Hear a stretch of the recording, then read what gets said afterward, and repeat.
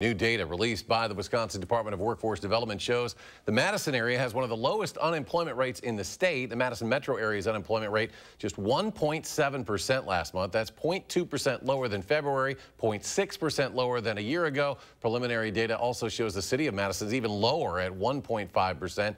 Adams County in central Wisconsin has the highest unemployment rate at 5.4%.